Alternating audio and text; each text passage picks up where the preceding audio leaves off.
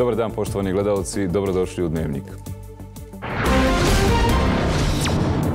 Dok u Bosni i Hercegovini srećom nema velikih kiša i poplava, regija se bori s porastom vodostaja. Najteže i dalje u Sloveniji, koju je u poslijepodnevnim satima pogodilo novo nevrijeme. Prvi put je ovako grozno. Neprespana noć. To je da. Grozno. Do kraja emisije između ostalog, gledajte. Obilježena 31. godišnjica raspuštanja logora Omarska, kroz koji su prošle hiljade bošnjaka i hrvata. Oko 700 njih je ubijeno. I on je samo rekao, nosi mi, nosi mi dijete da spasim dijete. Sedam mjeseci mu sinim, a on je ovdje ubijen i onda je muž moj kasnije našao njegovu ličnu kartu. Ko s osmijehom dolazi u Bosnu i Hercegovinu da radi? Čemu služe berze u Bosni i Hercegovini godinama ne ispunjavaju svoju ulogu? Japan obilježio 78. godišnicu američkog atomskog bombardovanja Hirošime, pozvali na ukidanje nuklearnog arsenala.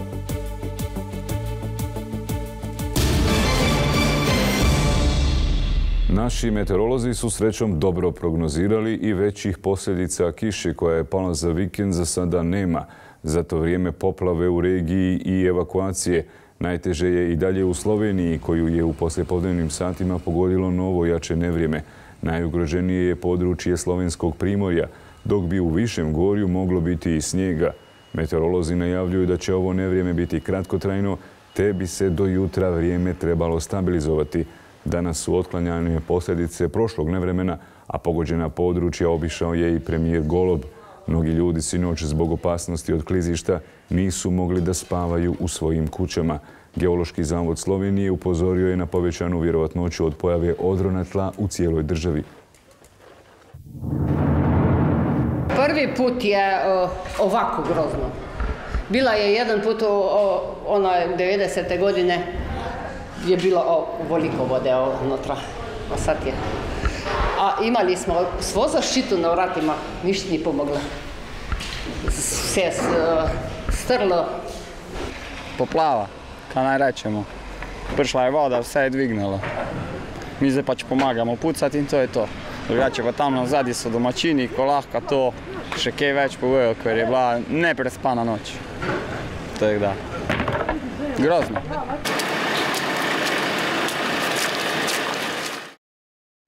Kiša koja je danas nastavila padati u sjevernim i centralnim dijelovima Hrvatske i dalje stvara probleme. Najkritičnije je u nekim dijelovima slivova Mure, Drave i Save. U Murskom sreždišću rijeka Mura se izlila i zaprijetila centru grada. Izvještava naša Ivana Tomić. Najteža situacija u Murskom e, središću je ovdje gdje se spajaju rijeka Mura i ovaj potok iznad kojeg trenutačno hodam.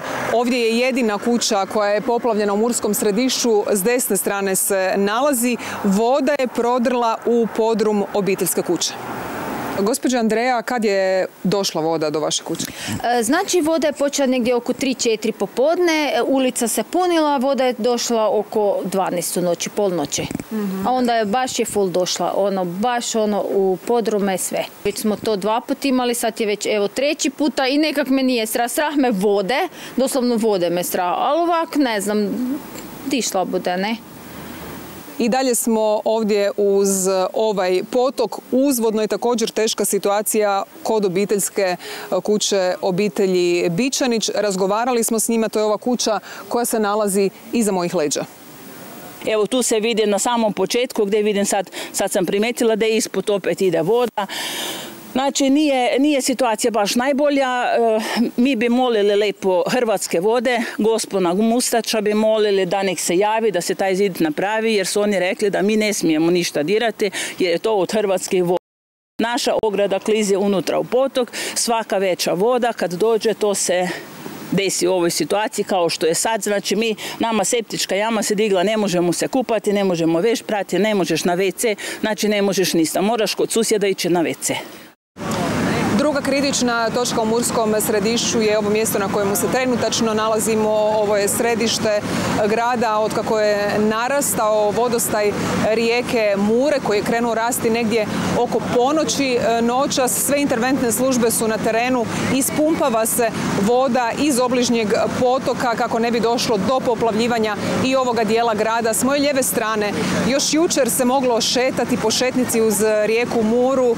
Tu je bio i bić bar, međutim danas toga više ničega nema. Vodostaj rijeke Mure najviši je u povijesti. Razgovarali smo i s gradonačelnikom Murskog središća. Iznio nam je plan u slučaju da ovakvi scenariji budu naša budućnost. Ja moram reći da se toplo nadam e, da je ovo takva godina. Da ovo nije naša budućnost ili čak sadašnjost. Jer ako je to tako slučajno, onda ćemo svašta nešto morati mijenjati u filozofiji obrane od poplava, gradnji objekata, e, konstruiranju vodotokova i tako dalje. Je li voda pitka? Voda je pitka, ali znači... Nema straha zbog podzemnih voda? Distributere pitke vode su međimurske vode, znači one bi, one bi već trebali dati nekom uvijest da je, da je bilo što naopako ili nije u redu, ne? Ali toga nije bilo tako da je onda valjda sve okej, ne? Nažalost, pred stanovnicima Murskog e, središća koji žive uz rijeku još je jedna neprospavana noć, noć u kojoj će razmišljati hoće li doći do potapanja njihovih kuća, budući da je najavljeno kako bi vodostaj rijeke Mure mogao porasti još i to negdje oko 19 sati.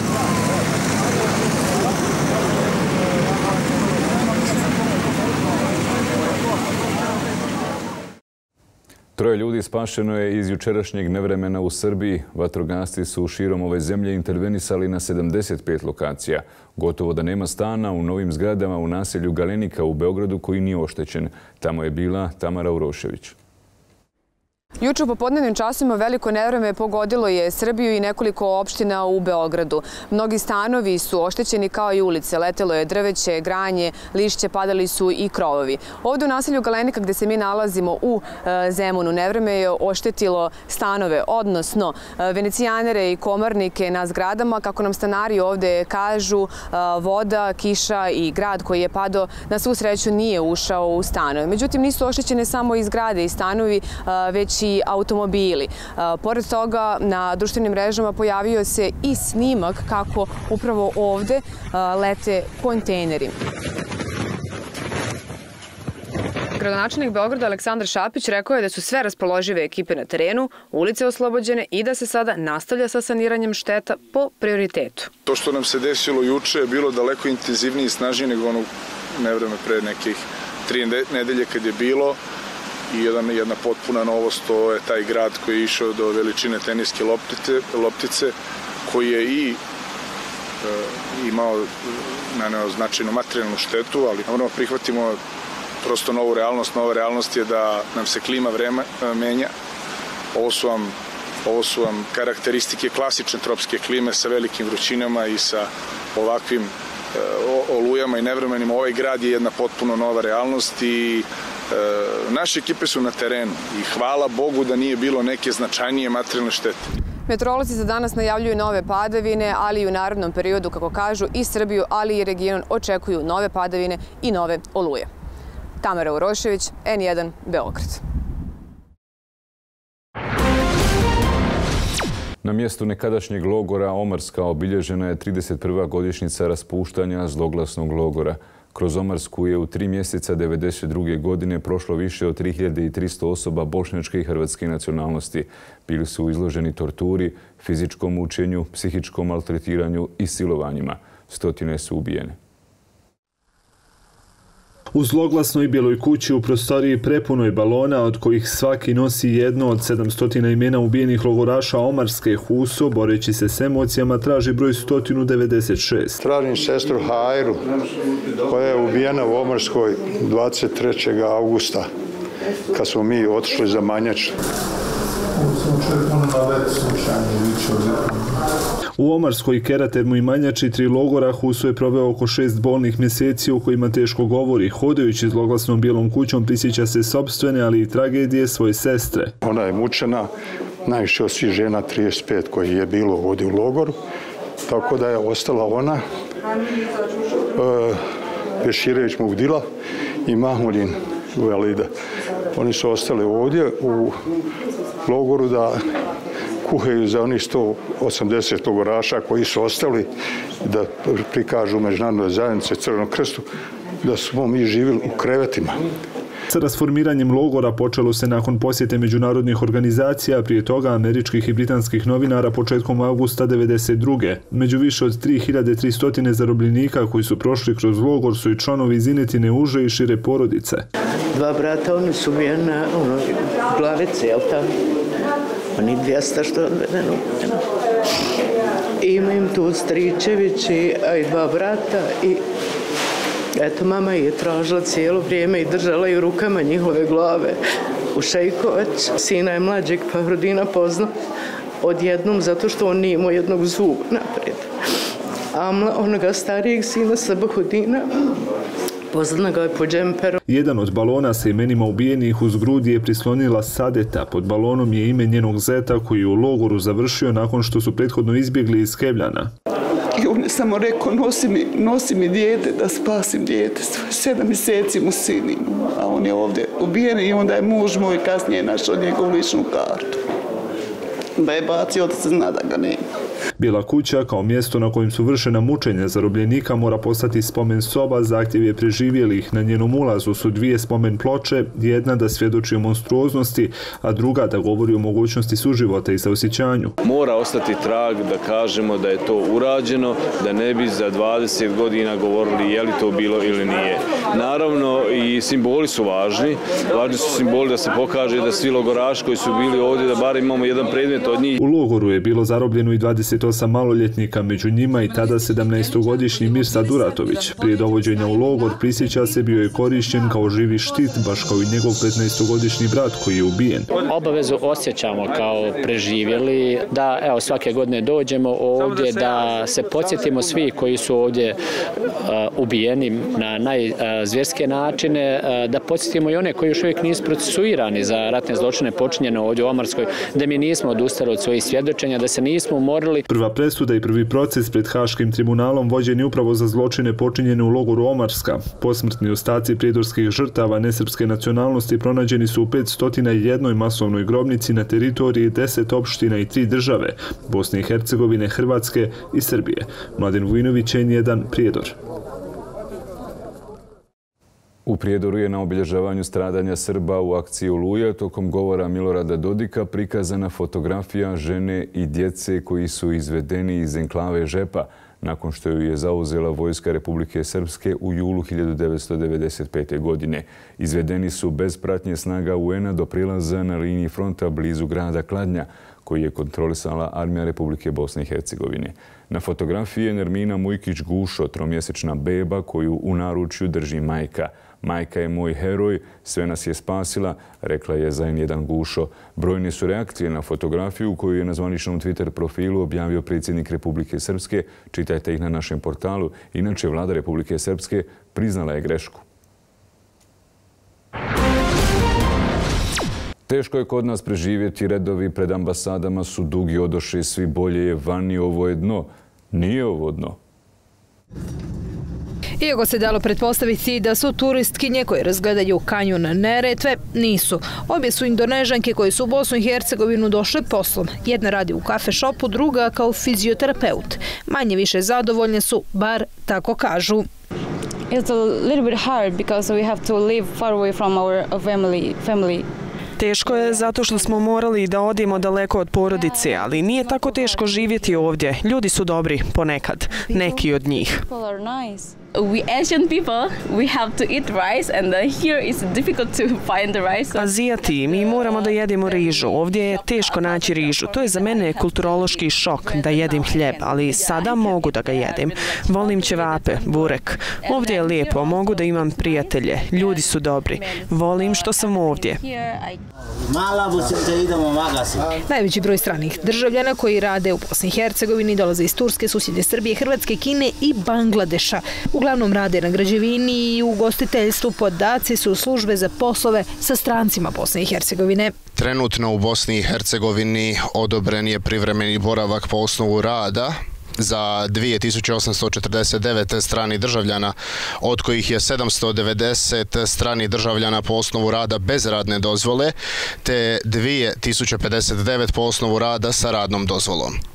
Radnici u Bosni i Hercegovini sada radije biraju relativno lakše i unosnije građevinske poslove, pa je majstore poput armirača koji rade na otvorenom u teškom položaju teško naći.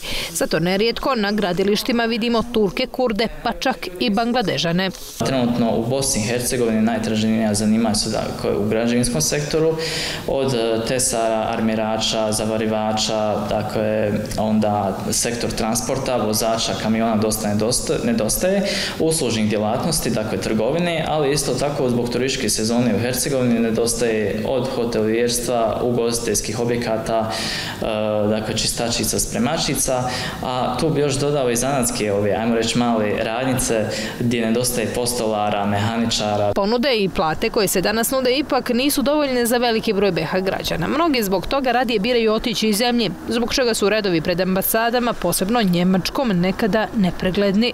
Kao uzrok koji navodi znači, i sami građani i poslodavci koji nama samo kontaktiraju jeste najviše ova povećka trenutna situacija u Bosni i Hercegovini, a na drugo mjesto stavljaju dakle, primanja koja su nedovoljna za njihov ovaj, standard života u matičnoj državi. A prosječna plata u Bosni i Hercegovini trenutno prelazi tek nešto više od 600 evra ili 1280 maraka. Samo u susjednoj Hrvatskoj prosjek je veći za 400 evra i doseže 2200 maraka. Aleksandra Tolje-Ružić, N1, Sarajevo. Nije na dnu, ali je vrlo skroman promet na berzama u Bosni i Hercegovini. U svijetu mnoge velike kompanije zarađuju novac upravo preko berzanskog poslovanja. Kod nas služi da bi se u kratkom vremenu kupile i prodale dionice.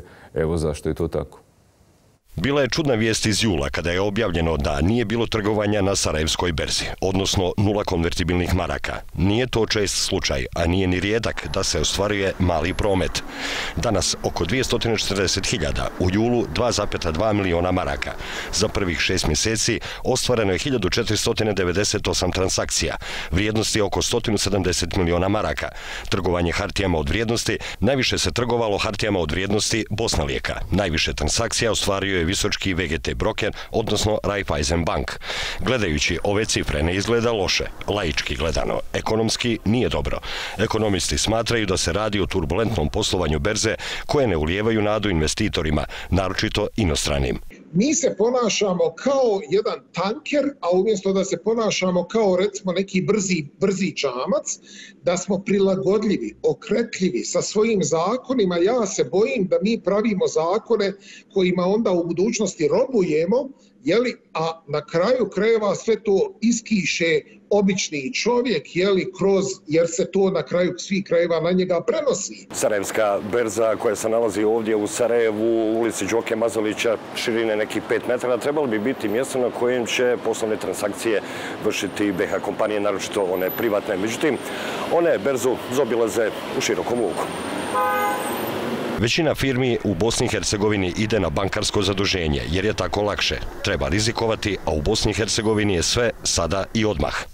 Berza prosto kao mehanizam nasljeđena iz bivše Jugoslavije, odnosno iz nekog arhaičnog perioda života, kada se e, na berzi prometovalo samo akcijama najvećih kompanija, e, kao što je, ne znam, Telekom, jel?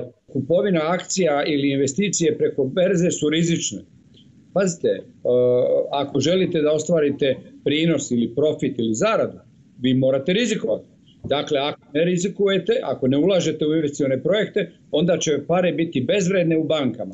A onaj ko bude htio da uzme novac e, za takav jedan projekat, morat će banci da da hipoteku. Time smo ograničili mogućnost plasmana slobodnog novca. Problem za Bosnu i Hercegovinu je što je sistem preglomazan. Potrebna je reforma i sistema i stvaranje prave uloge Komisije za vrijednostne papire, koja prema mišljenju ekonomskih stručnjaka nema nikakvu funkcionalnu ulogu, niti onu koja bi inspirisala male dioničare da postanu upravo to, dioničari. Vama kada je volumen trgovanja mali, ili kada je nepredvidiv, kada je ono što bi se rekli, jedan dan je nula, drugi dan je par miliona ili ne znam, par stotina hiljada, to svakako ne ulijeva nadu i ne ulijeva povjerenje investitora, a to je osnovni sastojak da bi vam investitori došli. Ne stoji ni region bolje, slično je u Crnoj Gori kao i kod nas. U Srbiji prometovano juče sa 54 dionice vrijednosti preko 7,5 miliona maraka.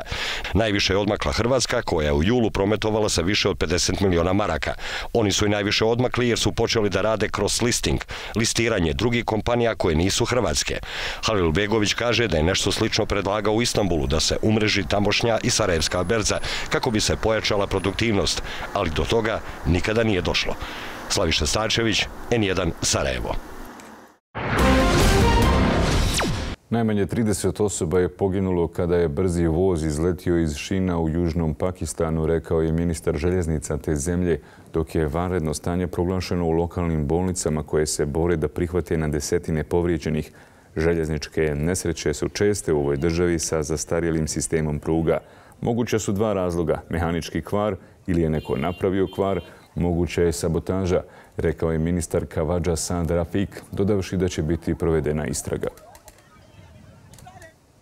Šest osoba je poginulo, a četiri se vode kao nestale nakon obilnih kiša koje su pogodile sjeveroistok Kine. Peking je saopštio da su prirodne katastrofe uzrokovale više od 140 smrtnih slučajeva prošlog mjeseca. Crveno upozorenje ostaje na snazi u glavnom gradu Kine zbog geoloških rizika, kao što su klizišta, nakon lošeg vremena. Japan je obilježio 78. godišnicu američkog atomskog bombardovanja Hirošime. Gradonačelnik ovog grada pozvao je na ukidanje nuklearnog oružja, te je nazvao ideju čelnika G7 o nuklearnom zastrašivanju ludošću. U 8 sati i 15 minuta je zazvonilo zvono mira u vrijeme kada je i bačena bomba. Oko 50.000 učesnika ceremonije, uključujući i preživjele, odalo je počast minutom šutnje. Dan komemoracije žrtvama prvog nuklearnog napada u svijetu dolazi u trenutku kada mnogi strahuju da bi Rusija mogla upotrijebiti nuklearno oružje u ratu s Ukrajinom. 核軍縮をめぐる国際社会の分断の深まりやロシアによる核の威嚇等によりその道のりは一層厳しいものになっていますしかしこのような状況だからこそ核兵器のない世界の実現に向け国際的な機運を今一度呼び戻すことが重要です。Američki tužioci opozorili su sud na objavu Donalda Trumpa na društvenim mrežama u kojoj je zaprijetio odmazdom, navodeći da bi bivši američki predsjednik mogao zastrašivati svjedoke otkrivanjem povjerljivih dokaza koje je primio uz optužnicu. U objavi na svojoj društvenoj mreži Truth, bivši predsjednik je napisao Ako kreneš na mene, ja ću na tebe. Dan ranije izjasnio se da nije kriv po optužbama da je pokušao poništiti izborni rezultat 2020. Every time the radical left Democrats do this and the Marxist, communist, fascist indict me, I consider it a great badge of honor because I'm being indicted for you. I am being indicted for you. I don't like that deal so much, by the way. I don't like that deal, but that's okay. No, I'm being indicted for you. I'm being indicted because of what we've done, and I'm being indicted because they're afraid of all of us, because we have a movement that's never been seen in the history of our country Make America Great Again, MAGA. It's never been seen. There's never been anything like this. And never forget our enemies want to stop us because we are the only ones who can stop them. We're the only ones. And this is why this election is so important. They want to take away my freedom because I will never let them take away your freedom. I'll never let that happen. They want to silence me because I will never let them silence you. U nastavku ponovo iz naše zemlje, ostanite s nama.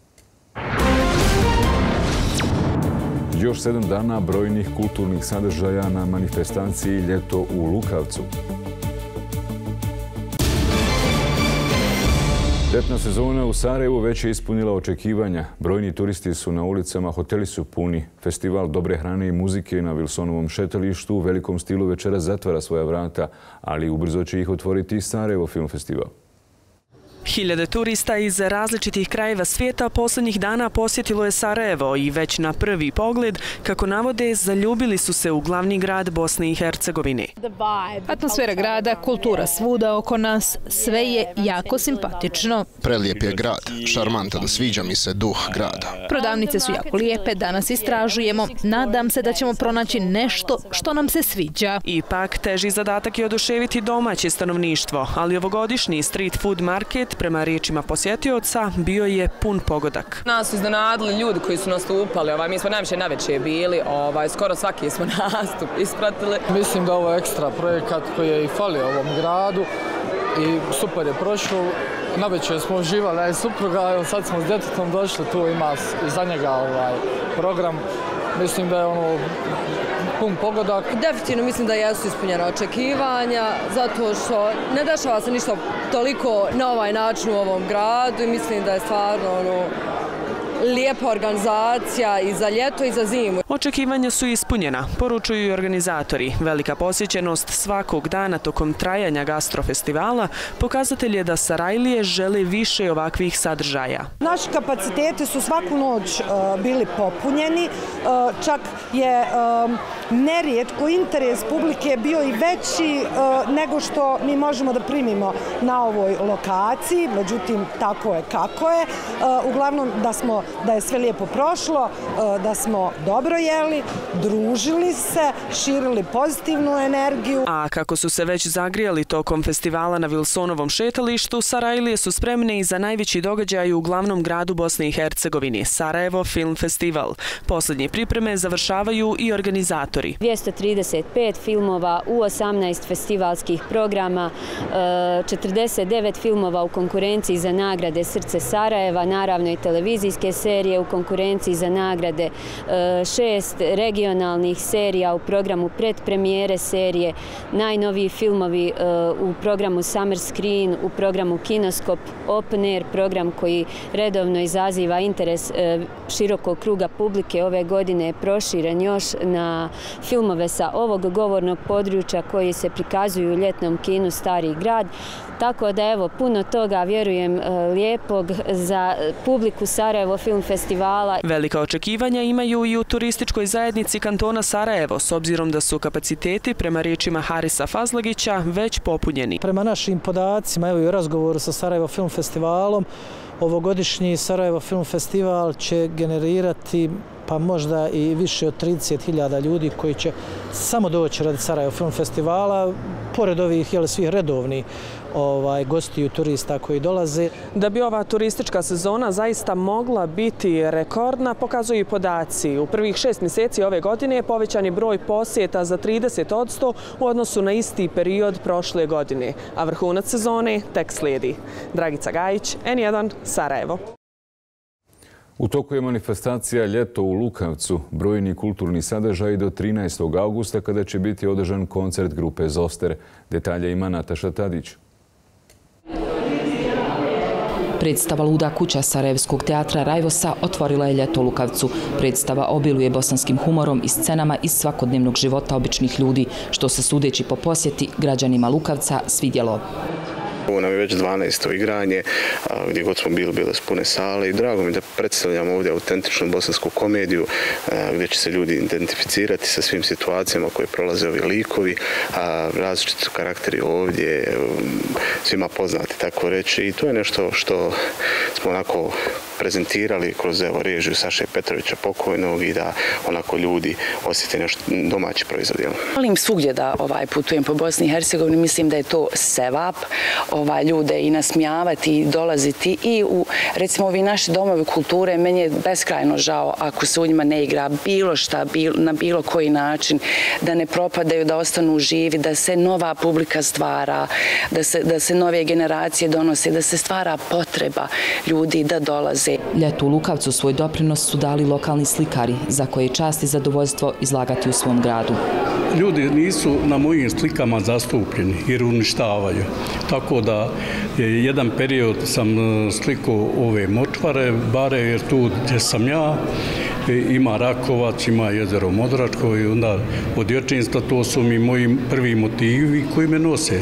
Da bi jedan period proveo u Alpama, onda je Švicarske Alpe, Austrijske, Slovenačke, Njemačke, tako da to je stvari dio mene. Slika se ja najviše cvijeće tu, e, prirodu, more, to me, to me najviše uh, privlači da to slikam plesačice, naravno.